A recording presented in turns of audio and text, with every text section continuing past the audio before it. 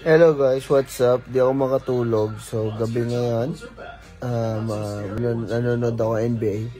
May joke ako kay Love Love. Di ko alam kung matatawa siya. Tignan ko. Napanood ko lang to. Uh, kinalakong ata. Ay, Kong okay, love my joke ako.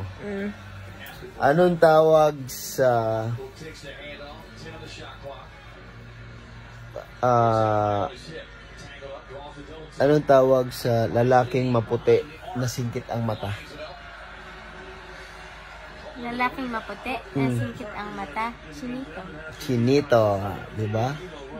Eh, ano naman ang tawag sa lalaking maitim na singkit ang mata? Chitae. Chitae. Ba't chitae? Yung ginagaya mo. Di ah.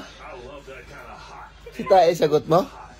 Wait lang, maitim na singkit. Mm. Ang maputi, chinito. Ah, Ang maitim na singkit. negrito. Hindi. Ano? Ba't nagrito? Ang tawag sa lalaking maitim at singkit ay prinito.